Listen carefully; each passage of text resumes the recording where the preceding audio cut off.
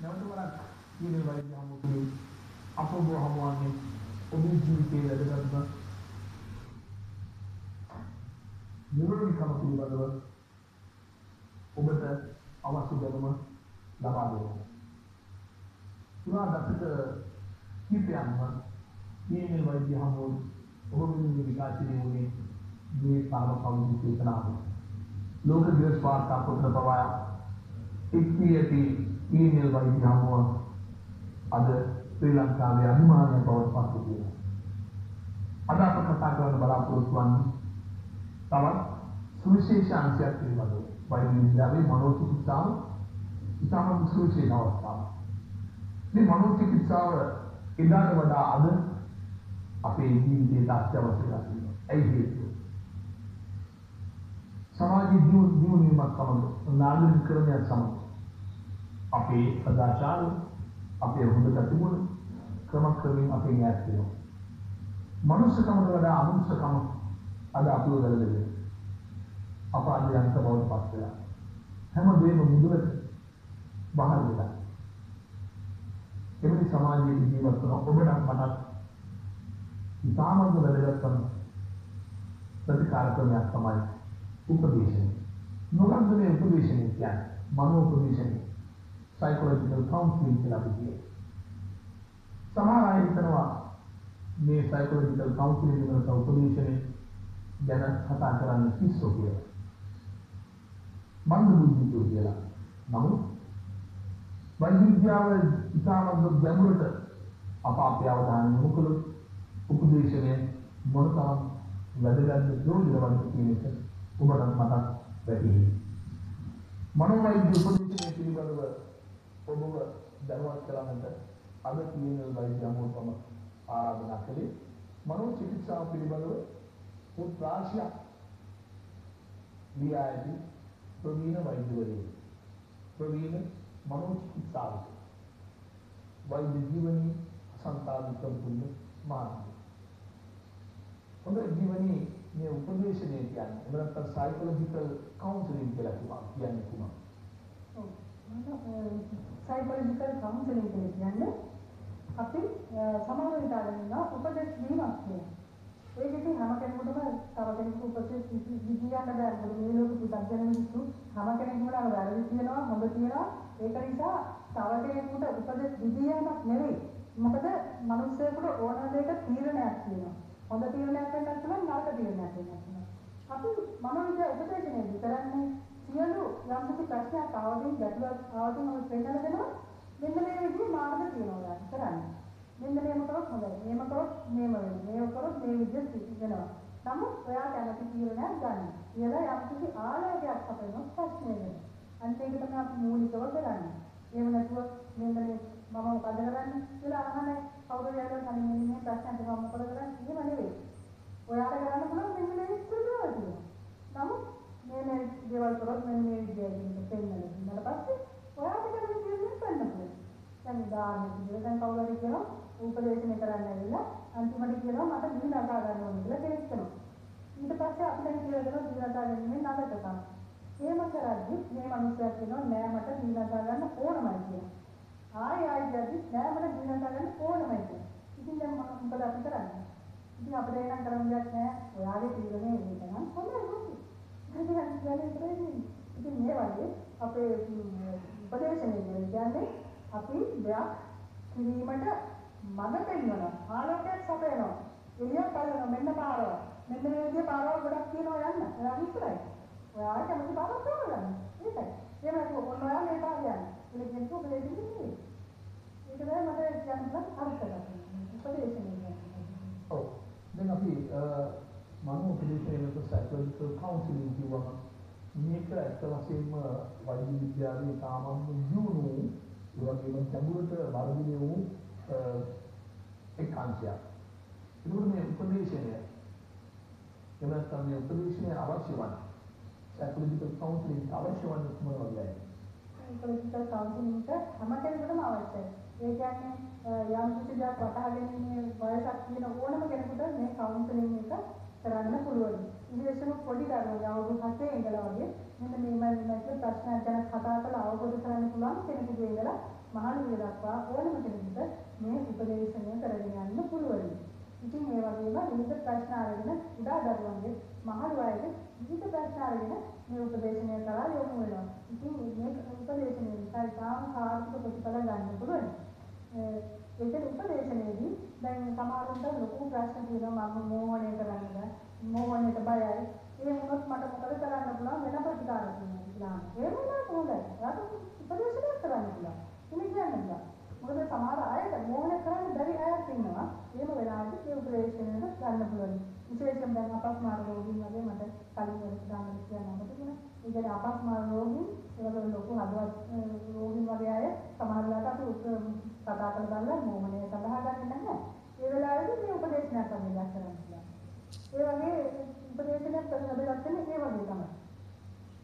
දැන් අපි මනෝ උපදේශනය කරන කතාවදී විශේෂයෙන්ම අද සමාජයේ නූතන සමාජයේ සමාජීය ප්‍රශ්න තිබෙනවා විස්තර කරනවා ආර්ථික ප්‍රශ්න සමාජීය ප්‍රශ්න ලිංගික ප්‍රශ්න ඒ වගේම අධ්‍යා අධ්‍යාපනික ප්‍රශ්න මේ අපි බලන්න ඉන්න වලින් වට වෙලා අපේ වටින ප්‍රශ්න අපිට විදිහක් නැහැ.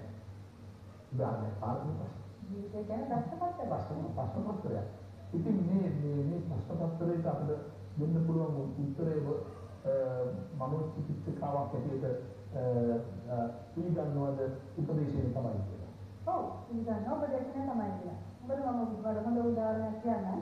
මම උපදේශන ඉගෙන ගන්න ඉස්සෙල්ලා මම ඉතින් මනුස්සයන්ට ප්‍රශ්න එනවා නේ අපි ජීවත් වෙගෙන යනකොට. ඉතින් මේ පොඩි පොඩි ප්‍රශ්නයක් ඇවිල්ලා මගේ ජීවිතේ මම මේ කිව්වා මෙන්න මේ වෙලාව කියලා මගේ නෑදෑයන්ට යාළුවන්ට කිව්වා. ඊට කලින් ගිහින් බලනකොට මේක හතරම තියෙන්නේ ගිහිල්ලා. ඊට පස්සේ ඉතුරු වෙන්නේ ඒ මිනිස්සුන්ට මොකද කරන්න යාළුවන්ට නෑදෑයන්ට ඕනේ. ඉතින් ඒක නිසා මම කියන්නේ කවදාකවත් කොච්චර හොඳයි කියලා කිව්වත් කිසිම කෙනෙකුට තමන්ගේ ළඟ කෙනෙකුට කිසිම දෙයක් කියන්න එපා. ඒ සඳහා ඉන්න ප්‍රොෆෙෂනල්ස් ඒ කියන්නේ ඒ තමයි උපදේශක ගුරු ඉන්නවා. ඒ අයද කියන්නේ. මොකද කිසිම ප්‍රශ්නයක් නැහැ. ඒක කවදාකවත් හිතට යන්නේ නැහැ. උපදේශක වරේ කියන්නේ කේස් එකක්. ඒ කියන්නේ ගමන් ළඟට එන කෙනෙක් දැන කියන විදියක් කියනවා. ඒ කියන්නේ මෙන්න මේ වගේ වැඩ රෝග තත්ත්වයක් කියන කෙනෙක් මගේ ළඟට ආවා. ආවලා ආවා කියන්නේ නෑ. ආවල් මාළිනිය ආවා නෙමෙයි. අහා මේක පුද්ගලෙක් ආවා කියලා කිසිම කෙනෙක්. ඒක නිසා මෙන්න මේකයි එන්නේ. මේක ප්‍රතිකාරය කියලා අපිට කියන්න පුළුවන්. මොකද ඒක අනිත් මිනිස්සුන්ගේ දැනුවත් වීම සඳහා. එහෙම නැතුව මේ මිනිස්සයා මෙහෙමයි කියලා මෙන්න අහවලා ඔයාගේ අල්ල කියලා එහෙම කියන්නේ නැහැ. ඒක රහසිගතභාවය අපි සම්පූර්ණ කරගෙන. ඒක නිසා අපි හොඳ දැනුවත් වෙන්න ඕනේ. අපිට ප්‍රශ්නයක් ආවොත් වහාම මේ උපදේශන සේවා පුරුදු වෙන්න ඕනේ. උපදේශක වරුන් ළඟට ගිහිල්ලා මේ දේවල් කීම ඉතාම හොඳයි. ඒකයි. ඔව්. දැන් අපි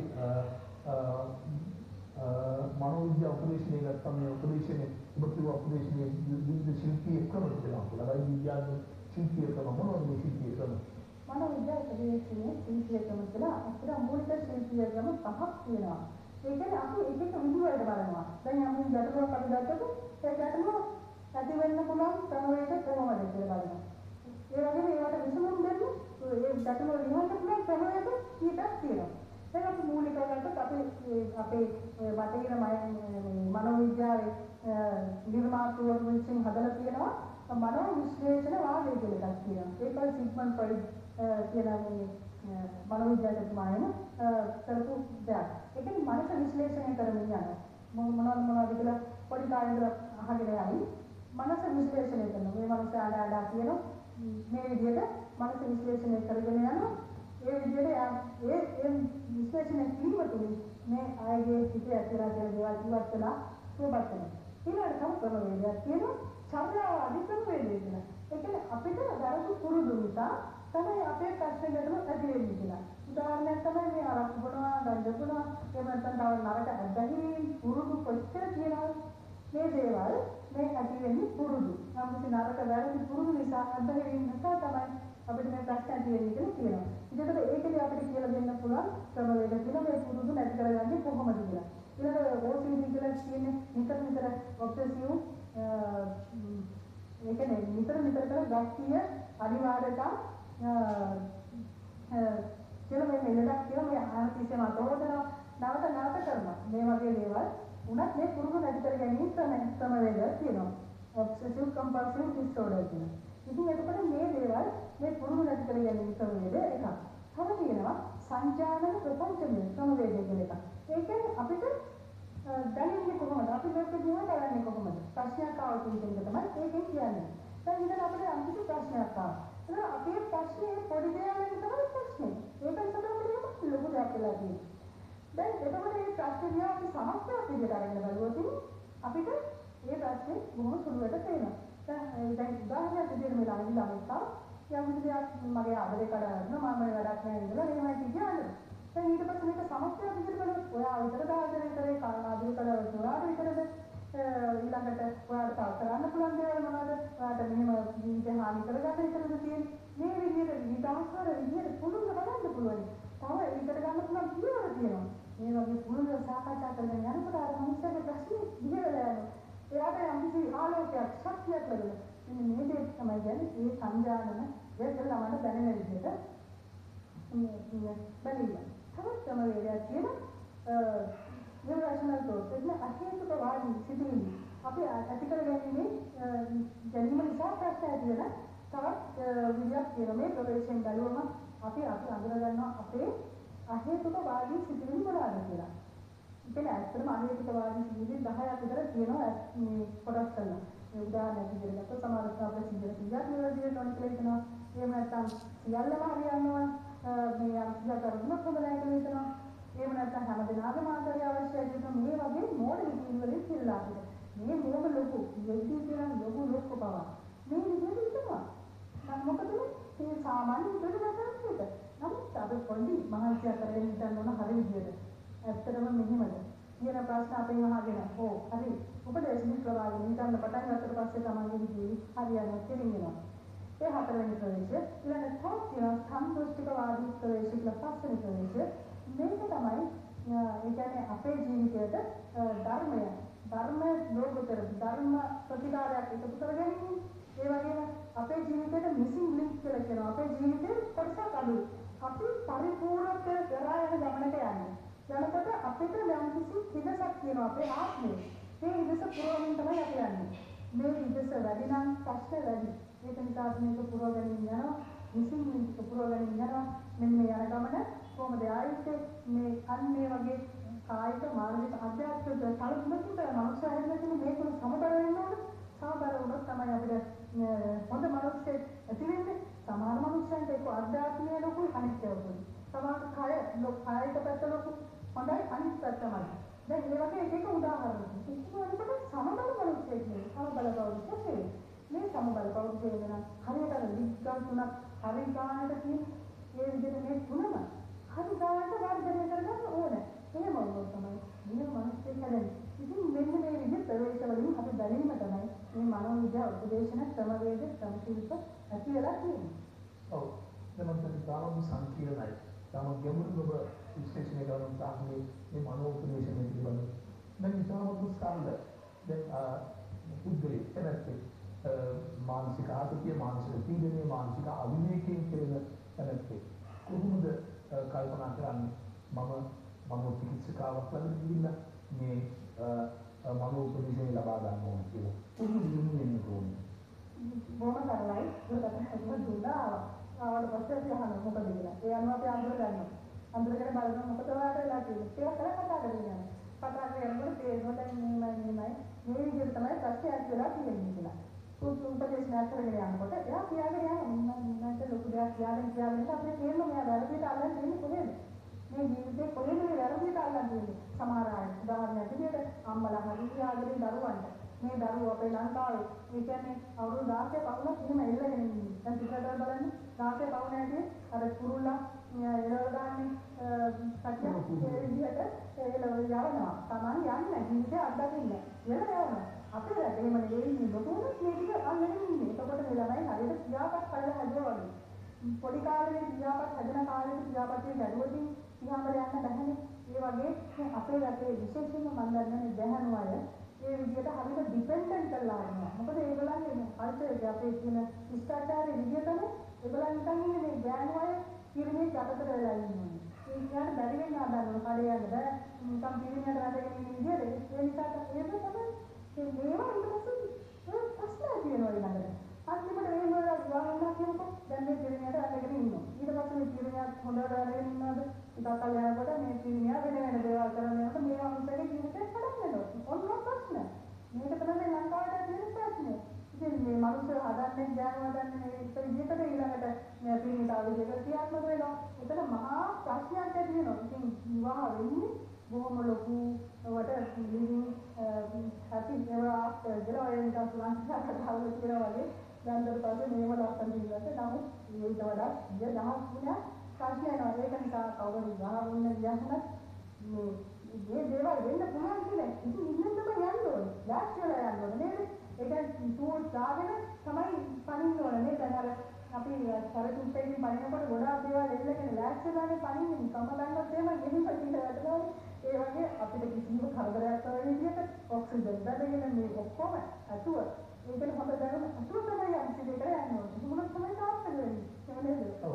මම කියන්නේ මනෝ වෛද්‍ය විද්‍යා උපදේශනය අපි දක්වස් තියෙන මනෝ වෛද්‍ය උපදේශනය අද ශ්‍රී ලංකාවේ බොහෝ මේ මනෝවෛද්‍ය උපදේශනය ප්‍රමුඛ කළ මනෝ චිකිත්සකයන් ඉන්නවා.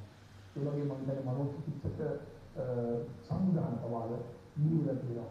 ඒ වගේම විශ්වවිද්‍යාලවල ශ්‍රී ලංකාවේ විශ්වවිද්‍යාලවල මනෝ චිකිත්සක විද්‍යාවේ නැත්නම් මනෝ චිකිත්සනය අද විෂයක් ඇතුළේ පවා අද උගලන් පටන් ගන්න තියෙනවා. මම හිතන්නේ ඒන් තියෙනවා මේ මනෝවෛද්‍ය උපදේශනය කොයිතරම් දුරට අපට අද අත්‍යවශ්‍ය වෙලා තියෙනවා කියලා. ඒක සාමාන්‍ය කියලා ඒ සිදුවේ ඉන්නේ ඔව් මම හිතන්නේ ඒ අපේ රටේ මොකද ඒක අද අද අපේ දවසේ අපේ රටේ ඊළ කාලේ වැඩි ප්‍රශ්න වැඩි එන්නේ සමාජ සංකීර්ණ වෙන මෙන්න වෙනකොට අත්‍යවශ්‍ය මේ විශ්ව ඔව් ඒ වගේම දැන් ඔබ මම හිතන්නේ මේ උපදේශනය ගැන කතා කරන්නේ මේ සිතයි ඔබයි විශ්වය කියන ඔබේ පොතේ ඉතා පැහැදිලිව සඳහන් කර දෙනවා මේ අපේ රටේ විවිධ අපරාධ ශ්‍රී ලංකාවේ සිදුවන අපරාධ වලින් 80%ක්ම මත්පැන් නිසා සිදුවන ඒවායි.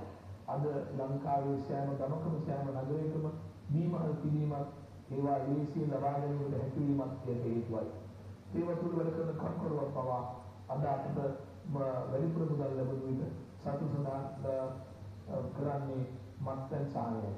දැන් මෙවැනි ඉතාමත්ම වැරදි සමාජ පුරුදු අපේ සමාජයේ තියෙනවා. මම හිතන්නේ දැන් ජීවන මම මොනින් යවුවොත් ඇයි මිනිස්සු බොන්නේ? ඇයි මිනිස්සු මත්පැන් පාවිච්චි කරන්නේ? හිතේ ඉන්දනය මානසික සතුටක් ලබන්නද? ඇයි අපේ තරුණ තරුණියෝ මත්කුඩු වලට ඇබ්බැහි මතක දුම්පානයට ඇබ්බැහි මේ යම් සාහනයක් සිද්ධ සාහනයක් අමුතු වින්දනයක් සතුටක් ලබන්නද කියලා මම ඔබට යෝජනා කරොත් ඔව් ගාමන් ප්‍රශ්නයක් මොකද ඇයි අපේ රටේ අය හිම යොමු වෙන්නේ? ඇත්තටම කියන්න වෙන රටවලට වඩා අපේ රටේ මේක ලොකු ප්‍රශ්නයක් වෙලා තියෙනවා. මොකද හරිම කැමතිම හිම බවට පත් වෙලා තියෙනවා නැත්නම් මොකද හේතුව?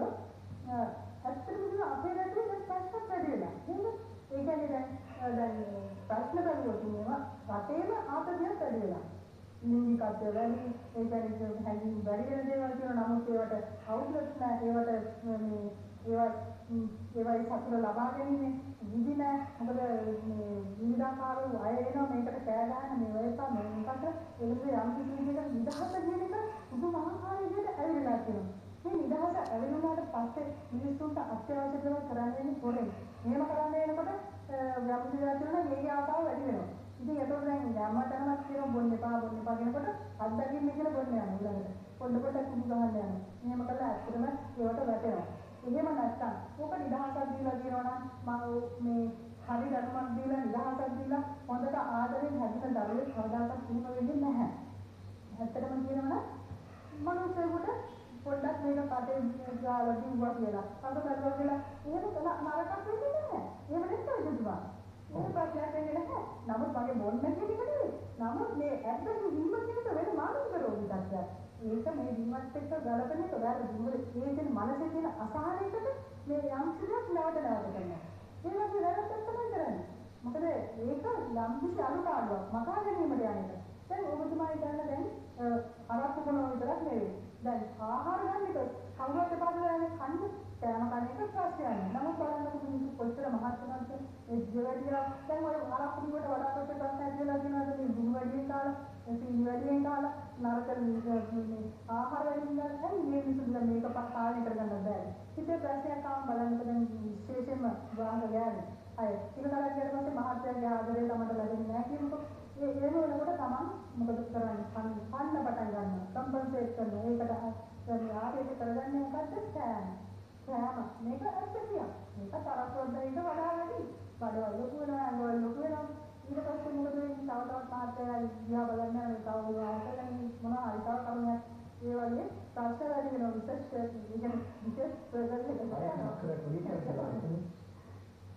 ඔව් දැන් මේ ඒ වගේම මම හිතන්නේ ඔබ මේ ග්‍රන්ථි සාමාන්‍ය වැඩ මනෝ විද්‍යා උපදේශනය ගැන කතා කරද්දී අපිට කිසි දවසක බහැර වෙන්න බෑ අපේ තිබෙන ආධුනික සම්බන්ධතාවය. අවුරුදු 10 ගණන් අවුරුදු 2500 ඉතිහාසයක් තියෙන ශ්‍රී ලංකාවේ බෞද්ධයක් තිබුණ බෞද්ධ ජනතාව. ඒ වගේම අන්‍ය ආගම් අදහන අන්‍ය ආගමිකයන් ඉන්නවා. මේ ආගමික සමගියාව මේ අපේ දියුණුවීමත් සමග නාගරිකකරණය වීමත් සමග ක්‍රමක්‍රමයෙන් මේ සදාචාර හොඳ පුරුදු ආගමට නැඹුරු වීම ක්‍රමක්‍රමයෙන් අඩු වීම ඉවත් වීම මම හිතන්නේ විවිධ මානසික රෝග ඇති වෙන ප්‍රධාන විපත්තු ඇති බව. ඔව් ඇත්තටම. පොඩි ළමයි කියන්නේ පොඩි දෙයක් පොඩි යම් ටිකක් ලපටුවට හැදෙනකොට ඒක හරියට ගන්න ලේසියිනේ. දැන් මේ කියන්නේ පොඩි දරුවෝ වුණත් කකුල අතපය හදනවා. නාය හදන. එතකොට ලස්සනට හැදෙන්නේ. ඒ වගේ දැන් අපේ පොඩි දරුවන්ගේ තුන දැන් අපි බලනවා ඇයි මේ කම්පියුටර් වැඩි ළමයි පාවිච්චි කරනවා ටීවී කොහොමද නැහැ ඉතින් බැන බැන ඉන්නවා. නැහැ එහෙම නෙවෙයි. අපිට මේ දේවල් වළක්වන්න බෑ ලෝක වෙනස් වෙන එක. කවදාවත් නවත්තන්න බෑ. එහෙනම් මොකද කරන්න ඕනේ? ඒකට විපාක ගන්න හොඳ දේවල් ගන්න ඒක පාසල් වල පුළුවන් හොඳ දේවල් හොඳ මේ දේශන දෙන්න. ඒ වෙනකොට වැඩි වැඩි හොඳ දේවල් දාන්න. එතකොට මේ දරුවට කියනවා හොඳ දේවල් නරක දේවල් කියලා පාරවල් ටිකක් කියනවා වැඩි වැඩියෙන් හොඳ දේවල් කරනකොට එයාට හොඳ දේවල් තෝරගන්න පුළුවන්. ඒකට උදාහරණයක් විදිහට මට කියන්න පුළුවන් මගේ තාත්තා මම පොඩි කාලේ මට කියලා දුන්නා හොඳට බුද්ධ ආගම ගැන දේශන දුන්නා. මට අවුරුදු 14 විතර වයසදී මම හොඳට අහගෙන ගියා මගේ ජීවිතේ මම හෙල වෙන්න මම වෙනස් වුණා. මේ වයින් මම හිතාගත්තා කොච්චර හොඳ මේ ධර්මය මේ විදිහට මමත් වෙන්න ඕනේ කියලා මට හිතුණා. මට ඒක ලොකු දෙයක් පාඩම් වුණා මගේ ජීවිතේ මේ වගේ දේවල් අනුමත කරන්න.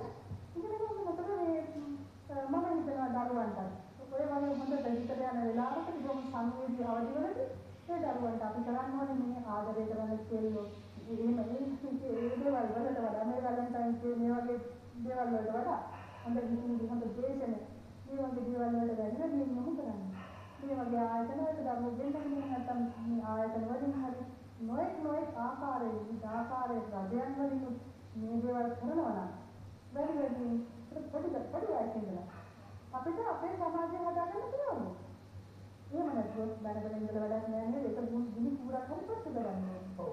මම දැන් මේ මනෝ වෛද්‍ය උපදේශනය ගැන සාකච්ඡා කරද්දී අපේ ගමේ පන්සලේ හාමුදුරුවෝ ගැන ශාසන අපේ ගමේ පල්ලියේ පියතුමාගේ දේශනා ඒ වගේම මුස්ලිම් පල්ලියේ මෞලවීතුමාගේ දේශනේ ඒ වගේම හින්දු කෝවිලේ පුදුතුමාගේ දේශනේ.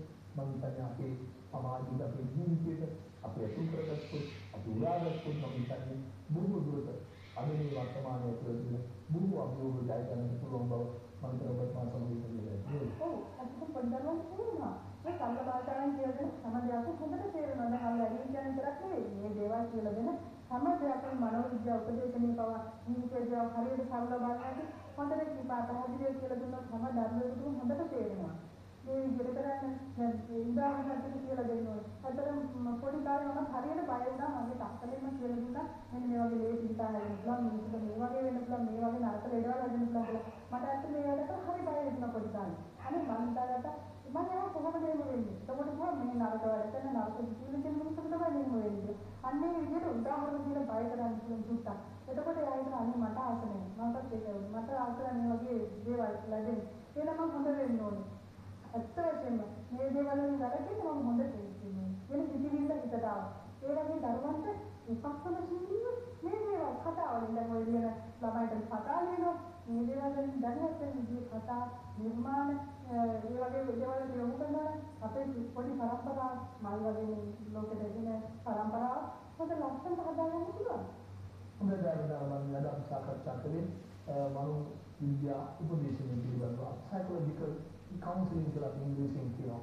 ඉතාමත්ම ගැඹුරු මාතෘකාවක්, සංකීර්ණ මාතෘකාවක්, ඉංග්‍රීසියෙන් තේරුම් ගන්න අමාරු මාතෘකාවක්. නමුත් ඉතාම සරලව මනෝ විද්‍යා උපදේශනයේ මූල ධර්ම ඉතාම සරලව ඔබට පැහැදිලි කර දෙන්නට අද මා සමග තීන වෛද්‍ය අංගතුන් සම්බන්ධ වෙන්නේ ප්‍රවීණ මනෝචිකිත්සකාවක් ලෙස කටයුතු කරන වෛද්‍ය ජීවනී අසන්තා වික්‍රමතුංග මහත්මයා. මම මුස්ලිම් දිනා වෙනුවෙන් ඇයට අපේ සිතේ කරන්න කැමතියි. මේ වැඩසටහන පිළිබඳව තීන වෛද්‍ය අංගතුන් පිළිබඳව ඔබේ අදහස් අදහස් අප වෙනදන් වායවා. ඒ තාමත් මම ප්‍රයෝජනවත් වෙනවා. ඔබේ අදහස් අදහස් අනුව තීන වෛද්‍ය අංගතුන් විකාශනය කරන්නට අප උත්සාහ කරනවා. අපේ ලිපිනේ ඊමේල් වලින් නම් දාන්තේ පිළිගන්න. ආයිබෝ.